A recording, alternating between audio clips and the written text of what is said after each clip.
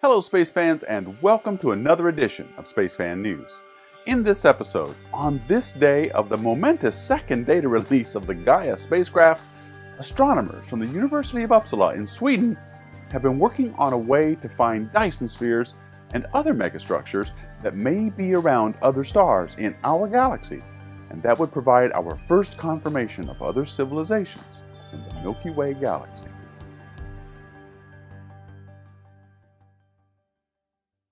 In a paper published on the preprint site AstroPH this week, a group of SETI astronomers from the University of Uppsala in Sweden describe a technique for locating the signatures of star-covering artificial structures known as Dyson spheres and other suitably large megastructures that may be in orbit around a star. This comes in advance of the second data release of the Gaia mission, which today released the most accurate positions ever made of 1.7 billion stars in our galaxy. Now, for those who don't know, a Dyson sphere is a hypothetical sphere that covers all or part of a star. By constructing a Dyson sphere out of material from dismantled planets, extremely advanced civilizations could, in principle, tap into a significant fraction of the power of the radiation power of their host star. Dyson spheres are typically not imagined as a solid shell but rather as a dense spherical swarm uh, or a shroud of absorbing satellites, with each satellite absorbing a small fraction of the stellar radiation. Other, less ambitious astroengineering designs, such as sparse swarms, rings, or single large shades, and they're built around both stars and stellar remnants, they've also been considered in this paper. And the time to build a small scale megastructure like that has been estimated to be about as little as 100 years. Now, who knows how long it would take to build a full-on Dyson sphere. the paper outlines what a Dyson sphere might look like in Gaia data. Now, I've told you about Gaia a couple of times on SFN before, and you can check it out in the little thingy up here, but it is, an, it is an ESA mission designed to accurately measure the positions of about a billion stars in our galaxy, out to about 30,000 light years, with an accuracy never before achieved. Launched in December 2013, Gaia's mission is scheduled to last for five years. During that time, it will log the position, brightness, and color of every visible celestial object that falls within its field of view. And by repeating these observations throughout its mission, astronomers will be able to calculate the distance, speed, and the direction of motion of each of these objects. It'll also be able to chart their variation in their brightness and determine whether they have nearby companions all, pretty worth doing.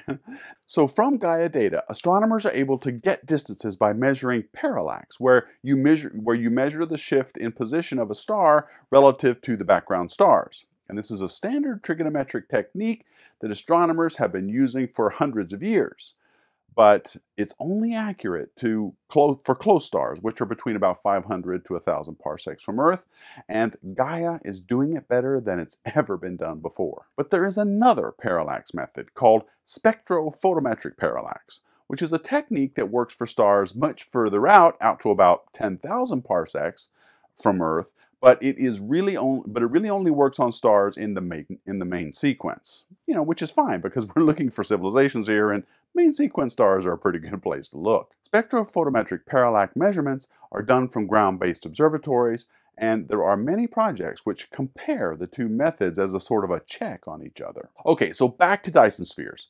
Since a star is surrounded by a partial Dyson sphere, where a large fraction of the star being covered will appear unusually faint for its spectral type at optical and near infrared wavelengths, its spectrophotometric distance will be overestimated. Why? Because its faintness gives a false reading for its distance since it's artificially covered. Spectra rely on flux or light output from a star. A trigonometric parallax measurement as provided by Gaia would, on the other hand, still be able to provide an accurate distance measurement since it only is only dependent on the position relative to background stars. So even though it's dimmer, it should still be possible to single out tentative Dyson sphere candidates by comparing parallax distances, the, the trigonometric ones, to their spectrophotometric counterparts. Now, according to the paper, a large Dyson sphere covering a large percentage of the star's radiation power will appear to be closer to Earth in the Gaia data, when computing the distance using the regular parallax method.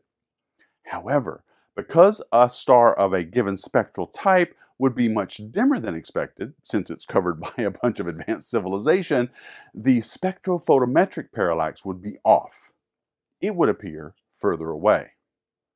So that means that the trigonometric parallax provided by Gaia would reveal the true distance of the Dyson sphere, and comparing the two results computed from the Gaia dataset with the spectrophotometric ones, any discrepancy should be a candidate star for more study. Let me try this again because I want to say this a slightly different way just to make sure I'm being clear here. So a shorter trigonometric parallax distance, the one computed from by Gaia, of a given star as compared to its spectrophotometric parallax might indicate a Dyson sphere or other, other megastructure in orbit around that star and would definitely war warrant a closer look.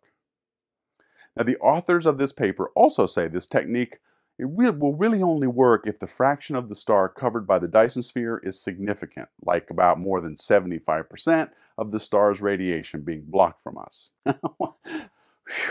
This was a hard one to make, folks. I hope this one was clear. It's an interesting paper. The link is in the description box, so give it a read yourself. Talk about it. Let's talk about this in the comments. Ask your questions. What do you think about this method for finding Dyson spheres? It actually sounds pretty good to me. So I don't know. We'll see how it goes. Well, that is it for this episode, space fans. Thanks to all of our Deep Astronomy Patreon patrons who keep these episodes coming.